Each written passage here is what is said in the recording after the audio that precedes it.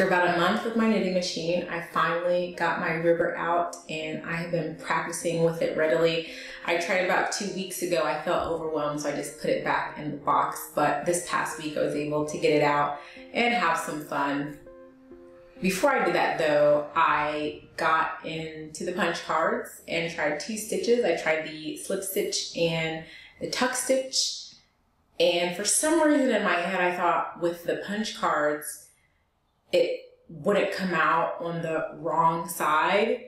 But because of how the knitting machine is designed, then it obviously is going to come out on the wrong side, which I made my swatches and I, I saw that there were purls.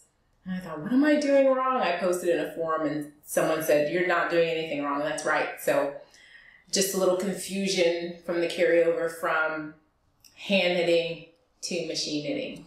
I tried two cast on methods and the one I prefer can be found on the Knitting School's YouTube page. Amber from the Fuzz Knitting recommended that and it's a really good one. But she's been helping me so much. I'm really grateful. And so, like I said, if you want to check that out, Helen Sharp, the Knitting School, you can see a way to cast on with the ribber. This week, I also got into my nine heads drawing book, and as you can see, my drawings are trash, which is the point. There's a book I love. It's called Figure Drawing for All It's Worth by Andrew Loomis. And he said that when he first started in art school, he was told that he should try another profession. But if you look at some of his professional work, you see, wow, he really came a long way from that beginning stage and it's just all about practice. And he encourages the reader that just like him, you can learn to draw as well. And that's what the nine heads person says. So even though my drawings look like trash, I'm just gonna keep practicing anyway. And yeah, just I look back at some of my sketches from several years ago and they look much better than this. But if I don't draw for a long time, I just have to basically start all over again with my skills. So practice my drawing.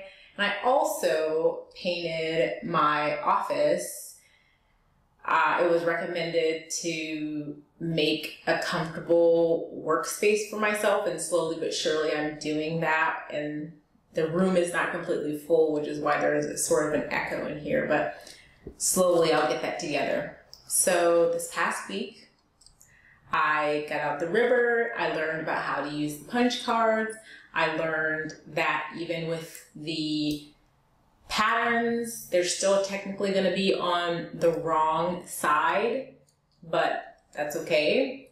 You can't really tell if it's just the pattern anyway, or maybe if you like having some purl stitches, that's just part of the aesthetic. And then I practiced drawing and still working on getting my office together. So I think now going forward, this next week, I'll work a little bit more on shaping with the ribber. But now that I've gotten comfortable with the machine, I can hop back into my wardrobe project. There shouldn't be any more delay, and I'm excited to begin on that hopefully in June. So thank you for stopping by, and I hope you guys have a great week. Bye.